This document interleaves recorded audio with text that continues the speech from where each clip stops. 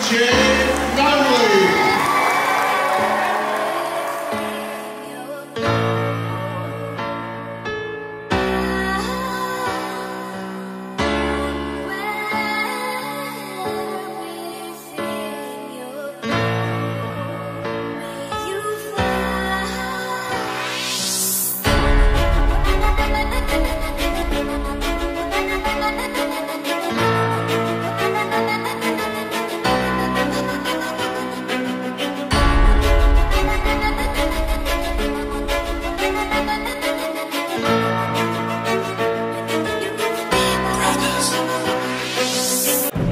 On behalf of Western Ranch High School, we would like to present James not only with this plaque and